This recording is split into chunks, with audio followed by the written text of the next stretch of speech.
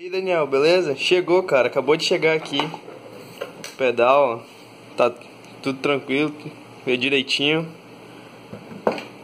As palhetas também. E aí? Tudo certinho. Valeu. Vocês viram que eu comecei o vídeo hoje mostrando o Matheus Fonteles, lá de Rio Branco, do, de Roraima, abrindo lá, mostrando que chegou o pedal Blues Drive que ele ganhou lá do sorteio do Guitarra para Todos, da Quinta do Conhecimento, né? Foi o, o, a nossa última transmissão ao vivo que rolou em 2016 e ele foi o grande vencedor. E ele mostrou, mandou um vídeo e aí eu quis compartilhar aqui para vocês e mostrar que realmente aconteceu, né? que foi verdadeiro, não foi é, como é que fala? Truque não, né? Não foi truque de marketing não. É o seguinte, gente, no vídeo de hoje eu quero falar um pouquinho sobre musicalidade. Recebi um WhatsApp do Everaldo Abraão, ele sempre está nas transmissões ao vivo, e ele me perguntou o seguinte: é, Bom dia, grande amigo, quero te fazer uma pergunta. Durante a nossa fase de estudos na guitarra, nós aprendemos as escalas, decoramos os shapes, etc. Mas tornar isso musical, melódico, como os grandes guitarristas fazem, é um dom ou é possível aprender isso? Por que te pergunto isso? Não vejo no mercado um curso onde te ensina tudo o que a pessoa sabe na guitarra para a forma musical melódica, entendeu? Em outras palavras, fazer música solar sem ficar com cara de exercício, pensar fora da caixinha. É o seguinte, gente, é, como fazer isso aqui funcionar? S- É, é- eu respondi esse WhatsApp através de um áudio, né? E falei pra ele que é o seguinte: a grande questão tá na repetição é tocar, tocar, tocar, tocar, tocar muito. Tem que tocar muito mesmo, não é pouco não, é muito. É, Existe uma, um livro, né? Eu até vi, foi o- no, no canal do Matheus Stalin, ele falou. é, deixa eu ver se eu lembro, cara. Mas ele falou, enfim, resumindo, ele falou que para alguém atingir um nível de excelência, ele precisa praticar algo por 10 mil horas, né? Então, isso tem a ver com a repetição. Então, se eu pego o exemplo do Oscar Schmidt, que foi o jogador de basquete, o mão, mão santa, ele ganhou até um, né, uma, como é que fala, um prêmio lá do, do Hall da Fama do, do, do- do- da NBA, enfim. O cara é reconhecidamente como um, é reconhecido como um dos maiores jogadores de basquete do mundo. Por quê? Porque ele treinava muito. Ele falava que a mão santa dele não tinha nada de santa, era mão treinada. Então, quando ele terminava o treino coletivo, ele ficava no treino, ele ficava depois do treino ainda na quadra, e ele tinha que acertar 20 cestas seguidas de três pontos. Ou seja, se ele chegasse na 19, aliás, se ele chegasse na 26 que no 20 arremesso e errasse o 20 arremesso, ele tinha que re- recomeçar tudo de novo, começar tudo de novo, né? Tinha que recomeçar a contagem das 20 dos 20 arremessos de 3 e tinha que converter os três pontos. Ou seja, era muito treino. Da mesma forma na música não é diferente. Talento a gente conquista também. Por quê? É através da repetição. Tudo bem que existe a aptidão natural. A gente nasce com, com facilidades para certas coisas. Mas, por exemplo, se tu é jogado numa ilha deserta e não tem nada lá, tu vais ter que produzir alguma coisa para comer, para vestir, para beber, para morar. E aí, pô, eu nunca peguei um, sei lá, numa ferramenta, nunca, enfim, nunca fiz nada.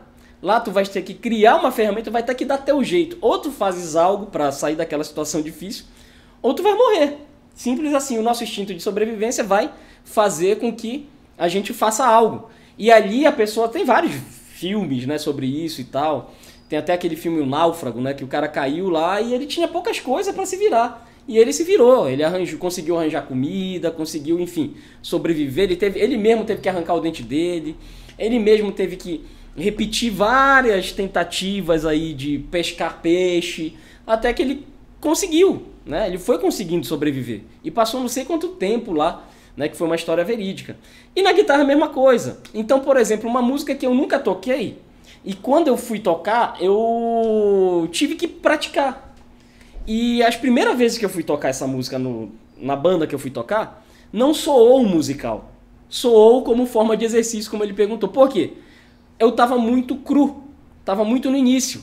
Então foi somente com repetição, tocando todo final de semana a mesma música, que foi que ela começou a soar mais musical, que eu comecei a me desprender dos desenhos, comecei a me desprender das formas, do, dos leaks e não sei o que mais, que aí eu passei a, a, a, a avisar, né, a projetar a minha cabeça, o meu pensamento, em cima do que? Da interpretação, da performance, né? E isso só vem com o quê? Quando a coisa está internalizada em ti.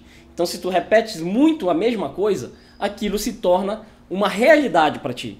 Se torna muito natural.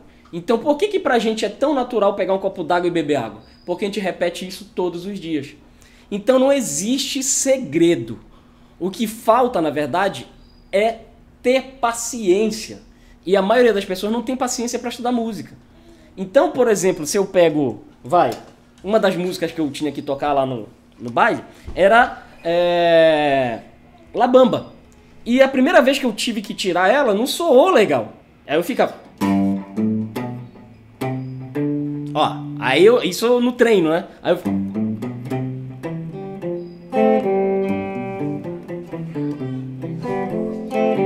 E treinei devagarzinho. Depois eu percebi, ah, cara, isso aqui é um dó e um fá.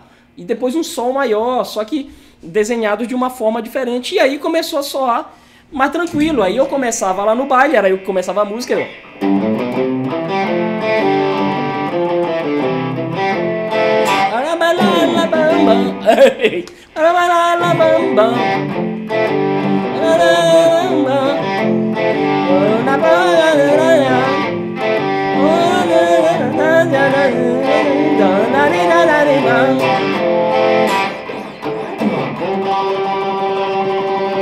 E vem um solinho, né? Do Labamba.